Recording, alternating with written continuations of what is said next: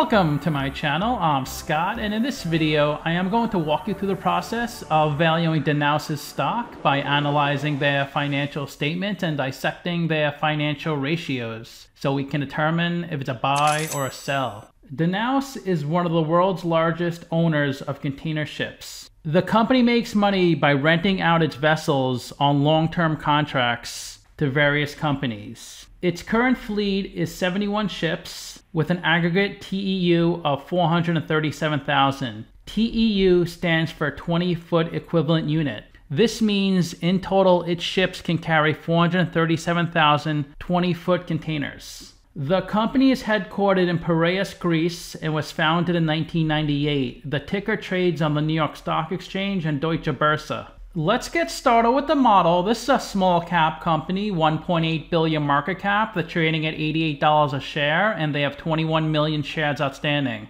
Let's look at their financials. The way you value a company is you estimate the free cash flows into the future and then you discount those numbers back to today's value. That's what we're doing in this video. And free cash flow is cash flow from operations minus capital expenditures. The company has positive free cash flow each year. It was lowest in 2021 at 72 million. Net income is the profit or loss on the income statement. It's revenue minus expenses and that's huge in 2021 over 1 billion. Revenue is a sales for the company and that also peaks in 2021 at close to 700 million. This is the company's income statement. The top line is the revenue the sales. Below that is the cost of revenue. These are all the expenses directly related to generating the revenue. Revenue minus cost of revenue gives you a gross profit and that grows about 80% from 2020 to 2021 Below that is their operating expenses.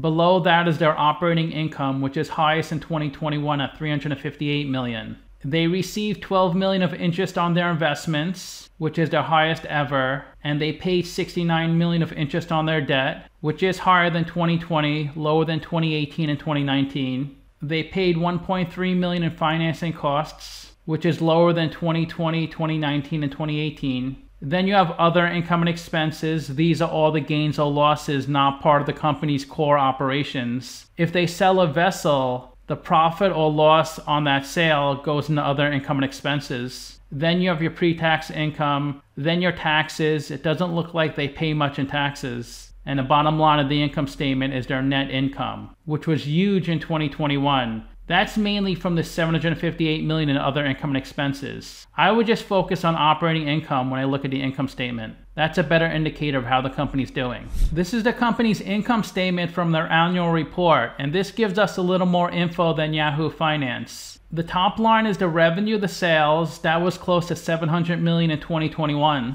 Their revenue in Europe was 338 million, Australia and Asia 323 million, and America 28 million and it grew a lot in every region from 2020 to 2021. They spent 24 million of voyage expenses, 136 million of operating expenses. These are all the various expenses to maintain the ship. 117 million of depreciation and amortization, another 10 million of amortization, 44 million of G&A. This includes the payroll for support functions like the executive team, so their operating income was highest in 2021 at 358 million. The reason their net income was so high in 2021 was this $578 million gain on an investment. This company owns stock in Zim, and Zim's stock price has gone up so much, this company has a huge unrealized gain. So they didn't sell the stock, but they have to mark to market their investment. It says right here, unrealized gain related to Zim. If they do sell the Zim stock, they will realize that gain. Earnings per share in 2019 was 829, then 651. Look at their EPS in 2021, 52. It almost seems impossible to grow from 651 a share to 52. If this was a new company, maybe can have that growth. But for a company that's been around a while, it's pretty impressive. They did increase their shares outstanding from 2019 to 2020. It was almost 24 million in 2020. but they did buy back some stock. Now it's down to 20.3 million. This is their statement of cash flows. The top line is operating cash flow. That's how much cash the company generates from its operational business. And that was highest in 2021 at close to 430 million. They spent a lot on capex in 2021, buying new vessels. They spent more on capex in 2018, 2019, and 2020 combined. Operating cash flow minus capex gives you your free cash flow and it is positive every year. It is small in 2021 because they invested so much into their business. For the past four years, they paid down more debt than they issued. They've been doing a good job deleveraging their business, and they bought back 31 million of stock in 2020. We saw their shares outstanding decreased on their income statement. This is the operating section on their statement of cash flows. And the way you calculate operating cash flow, you start with your net income of 1 billion then you add or subtract the non-cash items on the income statement. We have to subtract out that unrealized gain on Zim. But the income statement reported a gain of 577 million. Why are we only subtracting 544 million? Because Zim paid a dividend. So we have to net out the dividend payment because the dividend payment is a cash item. So they generated 428 million of cash flow in 2021, even though their net income was over 1 billion. That's why I like to look at operating cash flow. I think that's a much better indicator of how the company's doing than net income. Usually operating cash flow is higher than net income, as it was in 2019 and 2020. If it's lower, that could be a problem. You want to find out why, and we know why. I like to track a company's revenue, that's the blue line, and operating cash flow, that's the orange line. And both those numbers are at their peak at the end of 2021. Every year, it seems like they have positive operating cash flow and pretty consistent revenue. I know the shipping industry can be really cyclical, but their numbers look pretty good. Here's the investing and financing sections from their statement of cash flows. In their investing section, they spent 356 million in vessel acquisitions. They received 196 million from an investment. It looks like the 196 million dollar investment they received was from the sale of stock. They sold some of their Zim and HMM stock. HMM is a South Korean shipping company. In their financing section, they added 1.1 billion of debt. They paid down 1.3 billion of debt. They received 135 million from the sale and leaseback of some vessels. So in their financing section, they had a cash outflow of 221 million. This is the equity section on their 1231 balance sheet. They have 2.1 billion of equity. They raised 771 million from selling their stock, and they profited 1.4 billion from running their business. Let's look at the capital structure. 2.1 billion of equity, 1.3 billion of debt. They're 61% equity, 39% debt. Their net debt is 784 million. Net debt is debt minus cash. This blue line is their equity balance since 2015. The red line is their debt balance, and their debt was higher than their equity for several years. But recently, their equity is now higher than their debt. Their cash balance is at its highest point since 2015. So things seem to be improving for this company. And the company's doing a really good job at deleveraging. Their leverage was 7.3, now it's 2.5. When a company is deleveraging, that means their percentage of debt is getting lower. I gave them the highest WACC on Finbox, 13.5% to be conservative, and that's a discount rate we're going to apply to the future cash flows. We estimated four years of future free cash flows. We also estimated a terminal value, which is all cash flows past year four, that's 2.5 billion. We discounted those numbers back to today's weighted average cost of capital. We get a value of the company of $2.2 billion. We divide that by 21 million shares. And we get a calculated stock price of 108. They're trading at 88, so they're trading at an 18% discount. It's a buy according to the model. The forecast is for their revenue to hit 924 million by 2023 and 860 million by 2022.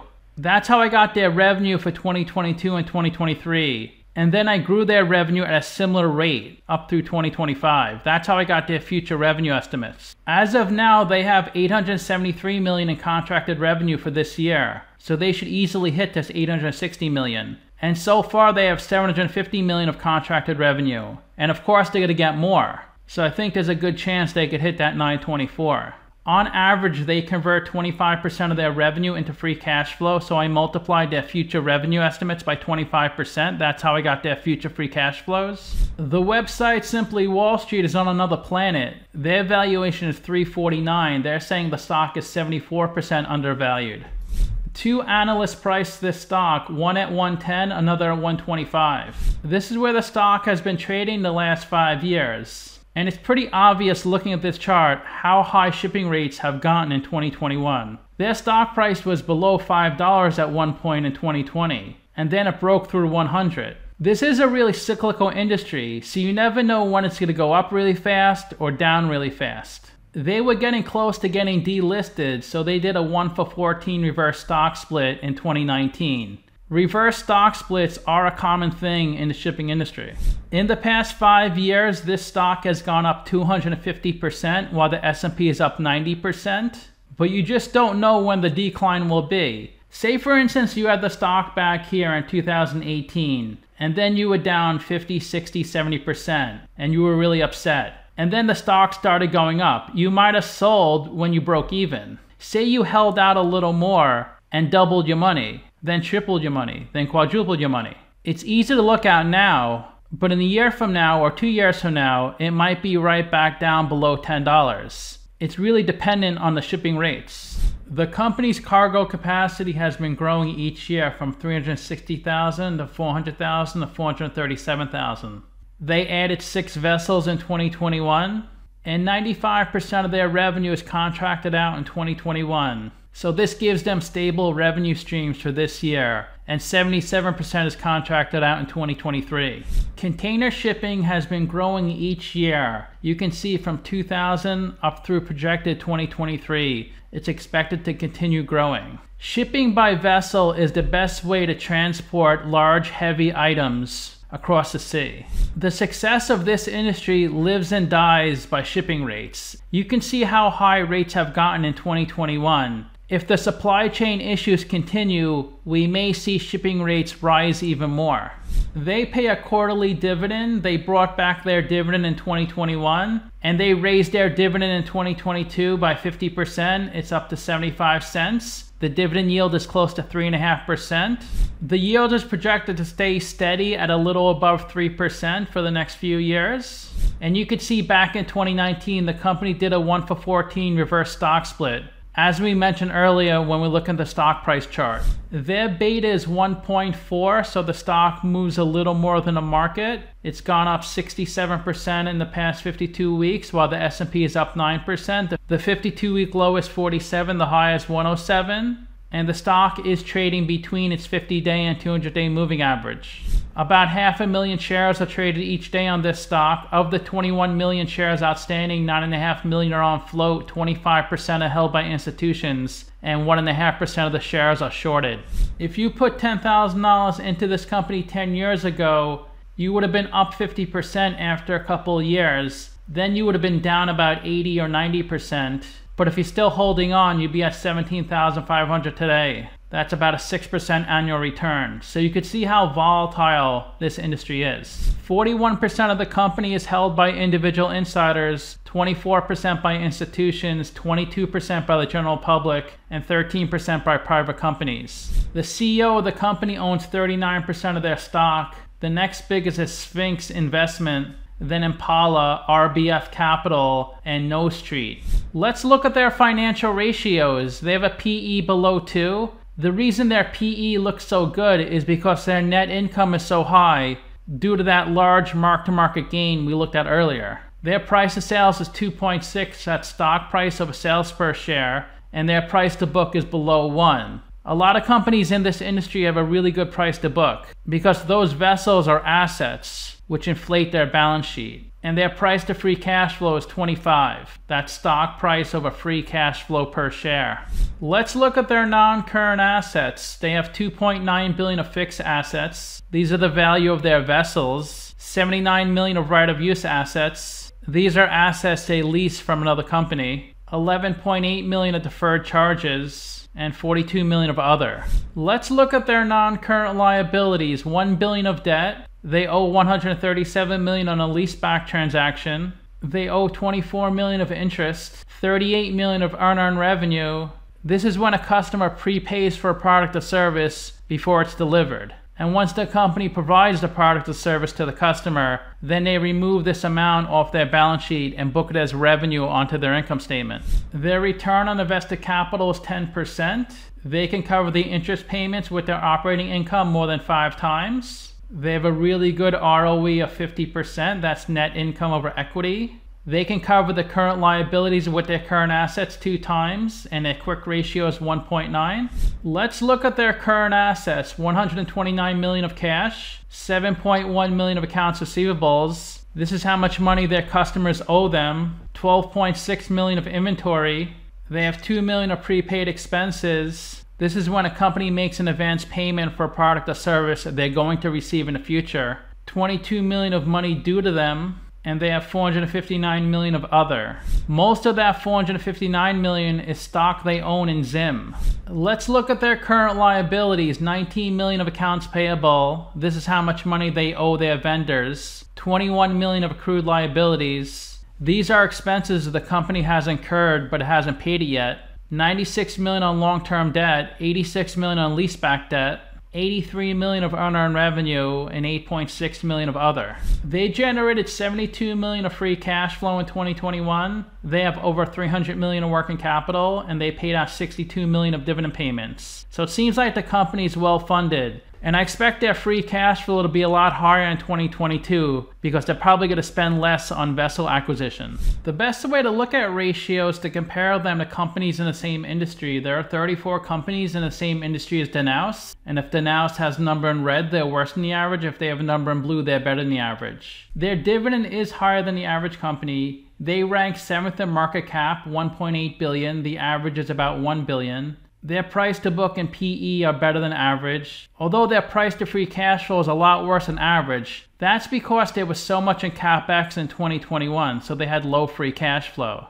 And their three year annual growth rate is higher than average, a much better ROA and ROE. So to summarize, I have them trading at an 18% discount, but you don't really know the future of this company because it's really dependent on shipping rates. I do think shipping rates should be strong this year, and once again, some cities in China are getting shut down due to COVID. That's going to put more pressure on other countries to fulfill the demand. I know lots of my subs have made good money on the shipping industry the past few months. I hope it continues. I rank their free cash flows 5 out of 10, their revenue 7 out of 10, and their ratios 10 out of 10. So let me know what you think. Give this video a like, subscribe, or comment below. Also, if you'd like to get a custom valuation or just support the channel, you can become a member by clicking on the link in the description below.